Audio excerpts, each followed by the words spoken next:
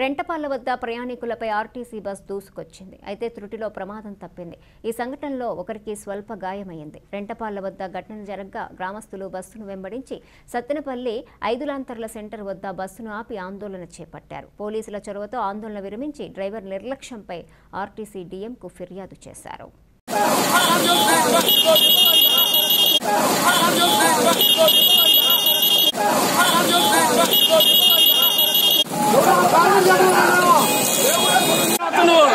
ఒక్కరి పక్కన నరుగుతా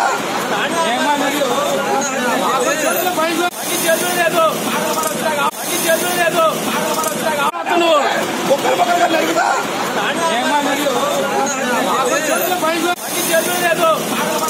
అతను ఒక్కరి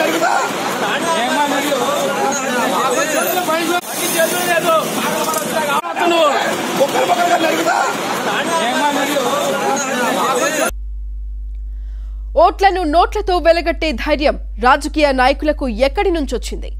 నోటు కోసం ఓటును అమ్ముకోవడం వ్యక్తిత్వాన్ని తాకట్టు పెట్టడం కాదా?